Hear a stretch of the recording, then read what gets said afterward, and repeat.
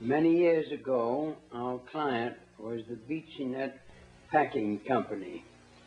We made a research and found out that the American public ate very light breakfasts of coffee, maybe a roll, and orange juice.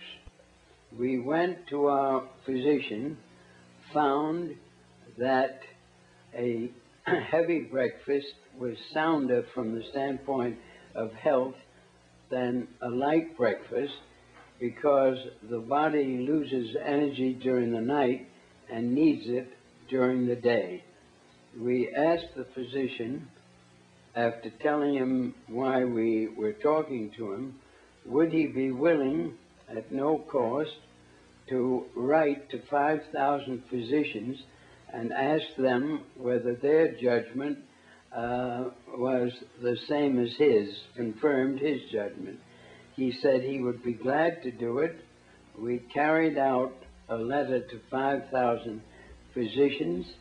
Obviously, all of them concurred that a heavy breakfast was better for the health of the American people than a light breakfast.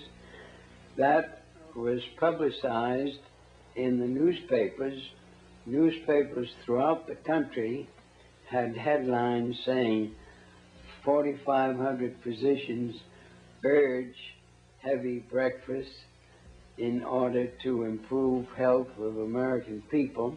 Many of them stated that bacon and eggs should be embodied with the breakfast, and as a result, the sale of bacon went up and I still have a letter from Bartlett Arkell, president of Beech-Nut Packing Company, telling me so.